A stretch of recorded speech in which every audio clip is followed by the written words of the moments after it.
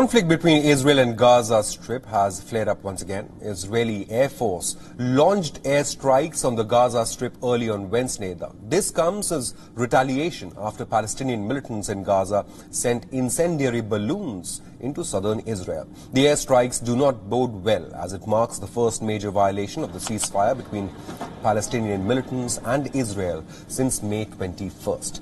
Previously, the 11-day conflict between the two sides killed 256 Palestinians in Israeli airstrikes, including 66 children in Gaza Strip, while 12 people in Israel also lost their lives after militants in Gaza fired thousands of missiles into Israel.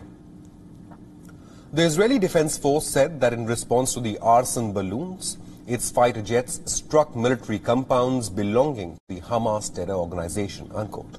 It added that facilities and meeting sites of terror operatives in Khan Yunis were targeted. Wednesday's strikes were Israel's first strike against Gaza since a new coalition government took over on Sunday night, ousting Prime Minister Benjamin Netanyahu who after 12 years in power.